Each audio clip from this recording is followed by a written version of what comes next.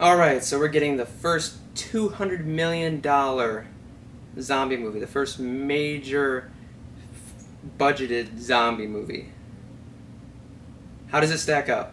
I followed World War Z through the production, and like everybody knows now, it experienced some troubles, and it appeared very early on that this was not going to be very close to the Max Brooks novel. It seemed like it was being proposed, or it looked from the trailers like it was a Brad Pitt star vehicle, and, you know, alright, whatever. I wasn't very excited for World War Z. I haven't read the novel, which I want to, but I want to see this movie first. Even though it's not quite the movie I envisioned from, like, concept art and stuff, like an actual, like a war with these zombies, it was an alright movie. I don't really need to explain the plot, but it really wasn't even that strong to begin with. It was just kind of there, which was, you know, zombies attack out of nowhere, and Brad Pitt is called in, I guess. I guess he just, you know, whatever, he, he knows how to fix stuff.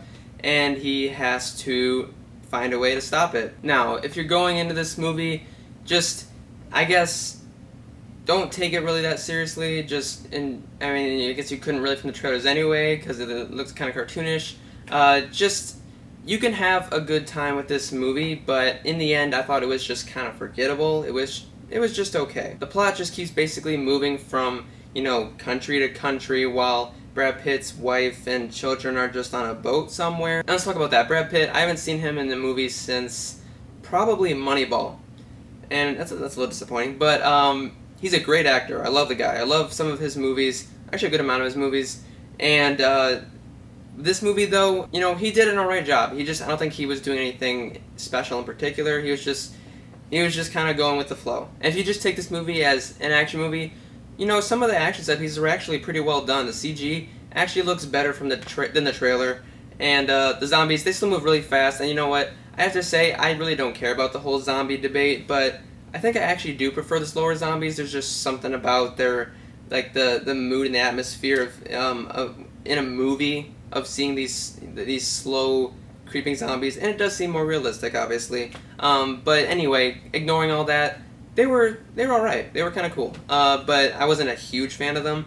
Uh, but the CG does look better. The action at times there were some actually some pretty cool shots. I just wish those had lasted longer. These action scenes, uh, in particular, there's uh, like a rainy kind of scene which it, it was all right. I think the mood was set, but the action didn't deliver. But there was this scene, of course, where you see it in the trailer where they're like climbing up a big wall and there's like helicopters sweeping in that was actually pretty badass. And everybody's talking about like the final scene, which you really don't see in the trailer, which is when they're kind of sneaking around um, the building, this facility, and it's kind of more stealthy. And uh, for these fast zombies, I think that was actually a smart move. But in the end, World War Z just kind of felt bland at times, and like not really, it didn't really have an aim, and not really much was going on. You don't really get much character development or story development it's just it, it is what it is. And the ending it was it was interesting. I'll say that. For a zombie movie, it was it was different. It felt a little rushed,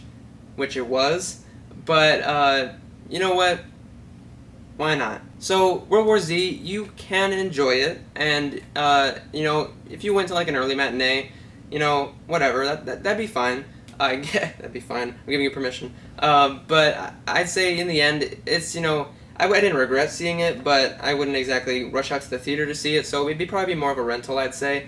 Um, it's an okay time, and uh, yeah, I, I, hope you enjoy it. It's not nearly as bad as I thought it would be. I hope you like this review. Subscribe if you enjoyed the reviews and you want to see more, and like that video, you know, like below, and uh, comment what you thought about World War Z if you enjoyed it. Uh, tell me what, what else you're gonna see. just let's let's talk. What did you like or not like about the movie? Let us know.